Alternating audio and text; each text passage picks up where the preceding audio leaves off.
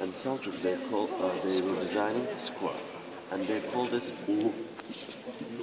Ulu Jami. In Bursa we have a mosque with this design, and imagine five or six times bigger than this Jami. So the Greeks. Guys. Can. Don't be shy, man. So, and Greeks and Romans, they were calling this square design as a basilica, of course. And Seljuks, they were calling this design great. In English, Ulu, U-L-U, in Turkish, Ulu Cami. So when you see this square design, most probably, and really strong possibility, comes from the Seljuk Empire.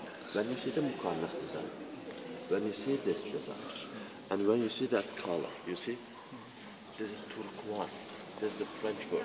Turk is the Turk. Quartz is the blue. This is Turkish blue. This is 100% Turkish color. And this color created by the Seljuk Empire. When you get inside the Ottoman mosque, you can see combination colors. Red, blue, and that kind of color, you know. This is the Islamic green, of Green, course. green, Islamic. In Ottoman mosque, you can see a combination of these colors. But when you get inside the Seljuk mosque, you can see one color. Turquoise. That's it. Excuse me, is that direction? Yes, it is.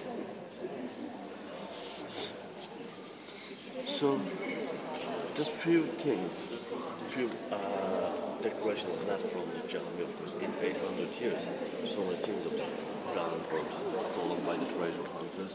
Of course, the walls of the Jami, they created that kind of geometric design paintings all around the world.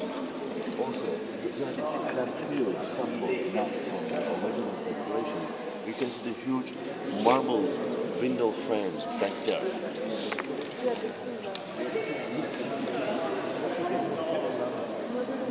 Of So uh, they are just giving some Quran or just little passage of the Quran. So that's why it's giving them a gift, a gift from last prophet. So they're just sometimes uh, thi- this year they haven't arrived, of course. So we're waiting for this donation box, of course.